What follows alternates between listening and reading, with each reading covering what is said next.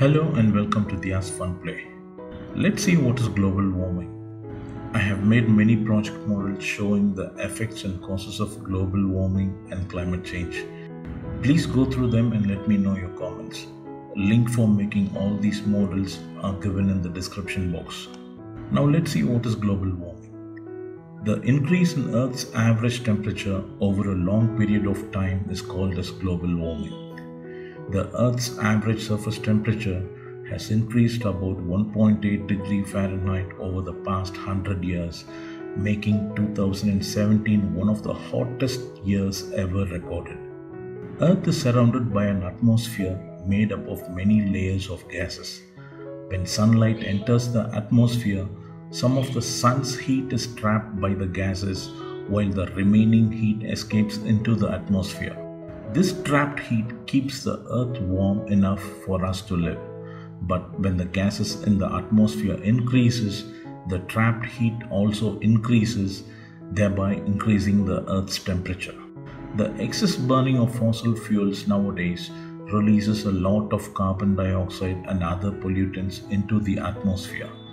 This excess carbon dioxide and other pollutants traps excess heat and increases the Earth's average temperature, leading to climate change. How can we reduce global warming? There are many ways by which we can help to reduce global warming. Reuse as much as possible. Unplug your computer, mobile, laptop, and other electronic devices when they are not in use. Minimize your electricity usage in all possible ways. Walk or use a bicycle as much as you can. Instead of using a dryer, hang up and dry your clothes in the sun and save energy. Spread a word to others about global warming and educate them about what to do and what not to do to reduce global warming. Glaciers are made up of fallen snow that over many years compresses into large thickened ice masses. Glaciers are formed when snow remains in the same place long enough to transform into ice. Due to its sheer mass, glaciers have the ability to move and flow like very slow rivers.